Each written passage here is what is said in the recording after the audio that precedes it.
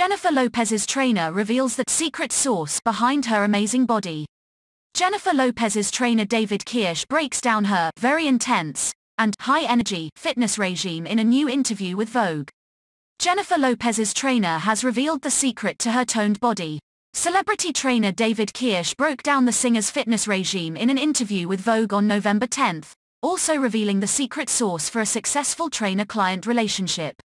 For starters, the secret source is an intuitive understanding of each client's individual physical, mental, and spiritual needs.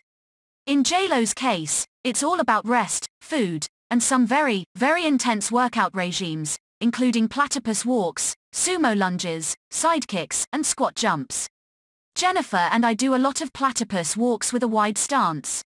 Also known as a sumo walking squat, David said. It's great for your inner thighs and butt.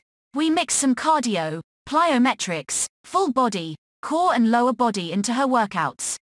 They are very, very intense and she takes it very seriously, which is exciting for someone like me. David continued, you say, we're going to do this, and she's like, great. Her workouts are fast-paced. She's very focused and high energy. The trainer reiterated that each person's body is different in various factors, including lifestyle, stress, diet, and even the people we surround ourselves with, come into play when it comes to regimes. Jennifer is meticulous about her eating, sleeping, and generally about everything in her life, David told the magazine. It's not just a physical thing it's about transforming every aspect of your life.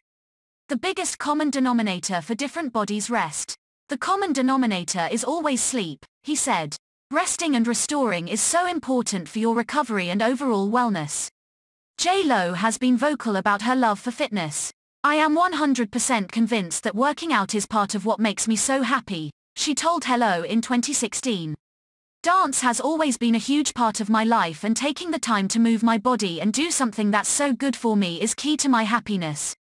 In an interview with Yahoo Life in December 2020, J-Lo admitted that, like everyone else, she struggled with health maintenance during the COVID-19 quarantine.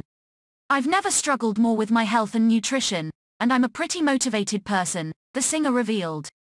But throughout quarantine, I was just, you know, I just felt like some days I was motivated to eat well and work out.